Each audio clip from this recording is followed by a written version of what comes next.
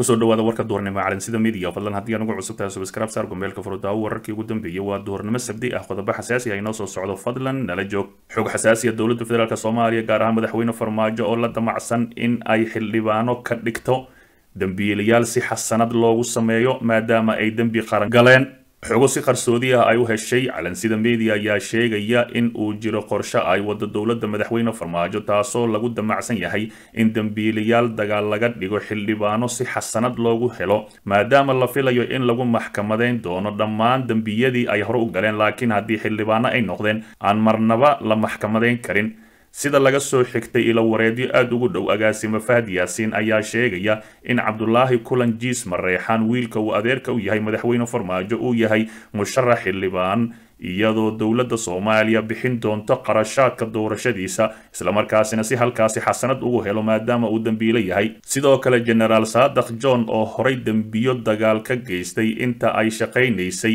dowladda madaxweyne farmaajo ayaa loo raadinayaa asigana inuu xildhibaan noqdo si xasanad u helo islamarkaasina aan lagu soo oogi karin kiis dacwadeed inta uu xildhibaanka yahay waxaa la xasuustaa in uu weeraray gurigii cabdiraxmaan cabdishakuur warsame islamarkaasina shan dhalinyaro aheyd kabihiisa oo ku duugay taa ayaaba dacwo ugu filan laakiin haddii uu xildhibaan noqdo marnaba laguma soo oogi karo oo xasanad ayuu leeyahay xogta soo gaartay calansida media waxay intaasi ku daraysaa in fahad yaasiin xaaji daahir yahay musharax xildhibaan islamarkaasina uu damacsan yahay inuu saaxadda siyaasadda ka saaro ina adeerkiis faarax sheekh cabduqaadir oo ay siyaasadda isku khilaafsan yihiin maadaama faarax sheekh cabduqaadir oo yahay gacanta midig ee xasan sheekh maxamuud. Haddii arrintaasi sida qorshaha yahay ay u dhacdo waxay daaha ka rogaysaa madaxweyne farmaajo shakhsiyadiisa taasoo ku sifaysan been ku-tumasho xeerka u degsan dalka soomaaliyeed dilaa arxandarro ah islamarkaasina khayaanoolo ahay oo dalka gebi ahaanba marin habaabiyey. Si kastaba ha ahaatee raggaasi dembiilayaasha ahi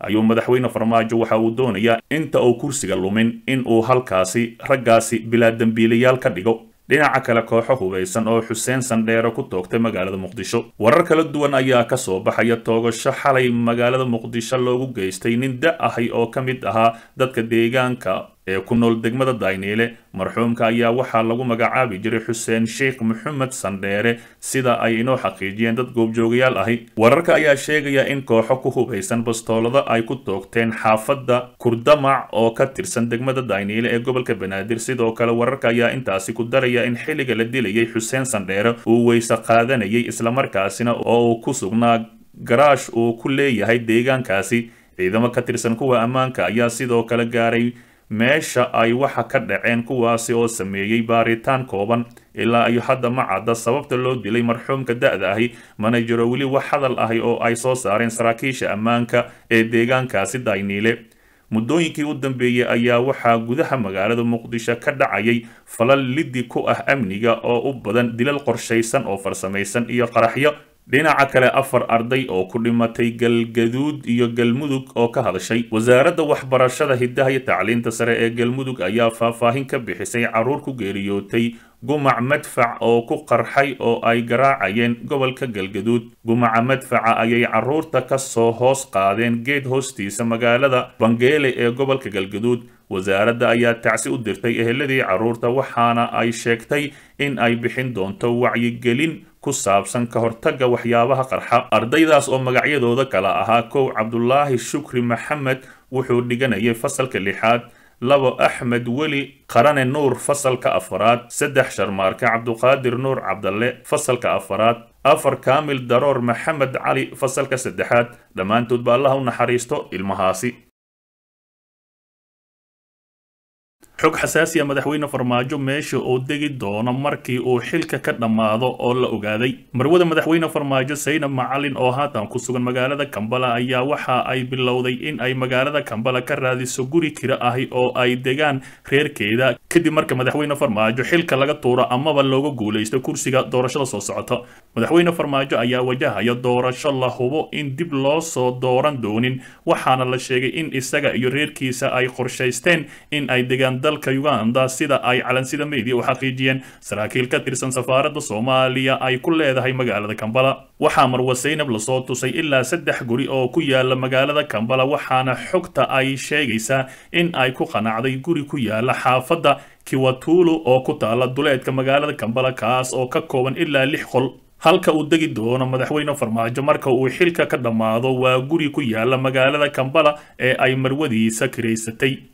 lama huba in ay gadan doonaan hase ahaatee maadaama madaxweyne farmaajo uu ka taajiray waxyaabo badan islamarkaasina lacag aad u fara badan oo haysta. Xogta aan helnay ayaa sheegaysa in gurigaasi ee kiri ahaan u raadisay marwada marwe saynab ayaa ka mid ahayd wafdigii oo horkacayay ra'iisul wasaare ku-xigeenkii dalka soomaaliya mahdi maxamed guuleed qatar oo halkaasi u tagay ka qaybgalka furitaanka warshada samaysa sokorta oo ay furatay haweenay soomaali ahi. Si kastaba ha ahaatee gurigaasi quruxda badan oo meeshaasi ku yaalla ayaa uu degi doonaa madaxweyne farmaajo markii uu xilka ka soo dhammaado amaba kursiga loogu guulaysto. Dhinaca kale shaqaale hindiya ka soo jeeda oo afduub ahaan loogu haysto muqdisho. Muwaadiniin u dhashay dalka hindiya oo u shaqaynaya mid ka mid ahi shirkadaha fadhigeedu yahay magaalada muqdisho. Ayay la soo diristay xaalad aad u adag warbaahinta waddanka hindiya waxay tabinaysaa in soddon muwaadin u dhashay dalkooda ay horaantii sanadkaani heshiis la galeen shirkad laga leeyahay soomaaliya balse aysan helin xuquuqdooda. Life hindustani oo ka mid ahay warbaahinta ugu caansan dalkaasi ayaa warinaya in ehelada dadkaasi ay faafiyeen muuqaalo ay sawiro ka turjumaya xaaladda adag oo ay dadkaani ku sugan yihiin. Warbixinada la baahiyey waxay sheegayaan in muwaadiniintaasi laga qaaday baasaboorradii ay wateen sidoo kalena ay mushaar qaateen keliya laba bilood. Hay'adda xuquuqul insaanka dalka hindiya ee safaaradda hindiya ee magaalada nairobi ayaa sameeyey dadaallo ay ku baadigoobayaan inay dadkaasi xorriyaddooda dib u soo helaan waxaana la rajaynayaa inay dhowaan heli doonaan warbaahinta madaxa bannaan. Badi ma hesho xogaha dhabta ahi ee ku saabsan arrimahan oo kale maadaama ay dowladda si gaar ahi u dabooshay kiiskani dhinaca kale guddoomiyaha xisbiga wadani ee somalilan oo laga helay cudurka caabuqa sagaal iyo toban. Guddoomiyaha xisbiga mucaaradka ahi ee wadani somalilan cabdiraxmaan maxamed cabdulaahi ciro ayaa la sheegayaa in laga helay cudurka safmareenka ee caabuqa sagaal iyo toban. Qoraal uu soo dhigay bartiisa gaarka ee facebooka ayuu ku xaqiijiyey in laga helay caabuqa sagaal iyo toban kadib markii la baaray waxaana uu sheegay in uu galay karantiil muddo toddoba cisho ahi waxa uu soo qoray alxamdulilah calaa kulli xaal maanta waxaa la iga helay caabuqa sagaal iyo toban baaris kadib waxaan aan ku jiri doonaa karantiil iskay ah oo toddoba maalmood ahi sida dhakhaatiirtu ku taliyeen caafimaadkayguna aad buu u fiican yahay ayuu yidhi mucaaradka mudane ciro. Deegaanada somalilan ayaa waxa uu ka mid yahay deegaanada soomaaliya sida weyn oo u saameeyey cudurka caabuqa sagaal iyo toban waxaana dadka laga helay ku jira xubno ka tirsan golaha wasiirada somalilan dhinaca kale golaha wasiirada galmudug oo sharciyo muhiim ahi ansixiyey madaxweynaha maamulka galmudug axmed cabdikaariyo qoorqoor ayaa guddoomiyey shirka golaha wasiirada galmudug oo ka qabsoomay xarunta madaxtooyada. Kulankaasi ayaa lagu ansixiyey shuruucda kale ah sharciga shaqaalaha rayidka ahi sharcigan nidaaminta iyo naqshadaynta magaalooyinka galmudug sharciga dakhliga gudaha oo ay soo gudbiyeen wasaarado kala duwan sharcigan ayaa waxaa soo gudbiyey wasaaradda shaqada arrimaha bulshada howlaha guud iyo guriyeynta iyo sidoo kale maaliyadda